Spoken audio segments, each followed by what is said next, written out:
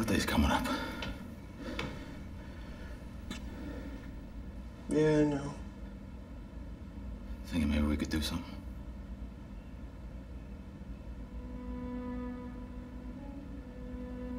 I'll call you when supper's ready. I was excited when I right after I read it. I was excited about the script. I, uh, I had a meeting with Michael the next day, and I was excited to, to meet this guy. And, uh, and I'm excited about playing fathers and, and this next, you know, I've aged into another bracket, and I'm, I'm excited about that. Terry's lost a lot, you know. He had a, as I see it, he had a terrible relationship with his father, and he has a terrible relation, relationship with his son.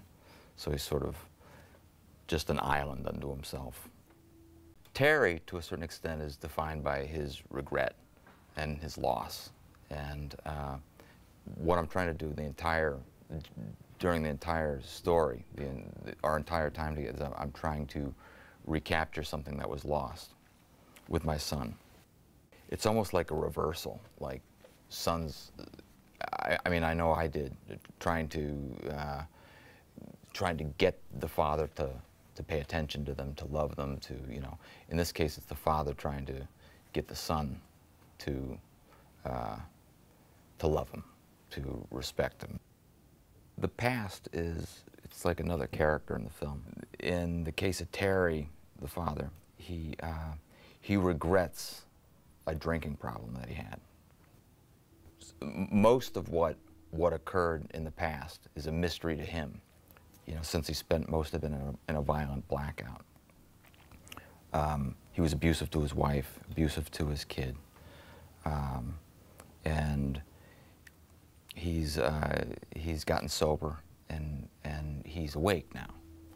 And he is trying to, to clean, clean up the wreckage of his past as best he can.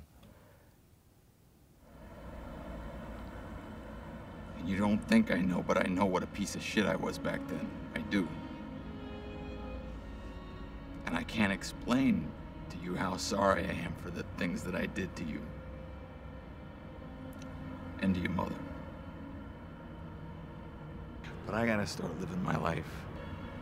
I... But I, I need my son back to do that.